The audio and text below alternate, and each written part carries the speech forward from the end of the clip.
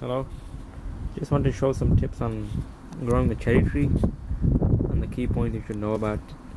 We live in the Midlands and it's mid-March or early March now. And uh, this is about a three-year-old to four-year-old uh, cherry tree. It's about nine foot tall and uh, should hopefully fruit this year.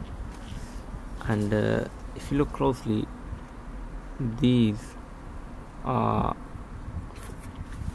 uh, leafing buds. Hopefully they should open into a leaf. And you can tell that by looking at their size. And they're, they're mostly single. But uh, if you look at a fruiting bud it's something similar to this. Yes as you can clearly see is extended. And has a few more buds towards it. Let's just get the angle clear of there. And uh, you can see uh, one thing you shouldn't do is tie it too tight like I've done so over here. Because then the cambium goes around it grows around it leaving a bulge. And that can uh, suffocate the tree.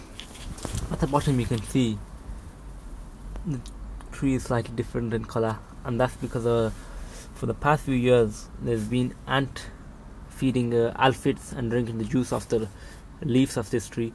So I've had to apply a certain paste and glues to uh, defend this tree from uh, ants but that's that's had a negative effect on the bark and the bark's died off and it has because of its stickiness it hasn't fallen out.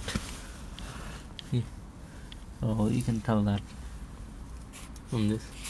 So you can see that I've been uh, pruning this tree for the past three years and uh, been uh, cutting off because because we have these walls and the sunshine can't get to any, anything below the wall. So it's best to knock off all the buds and do not waste growth over here and let, let it grow from the top and open from the top.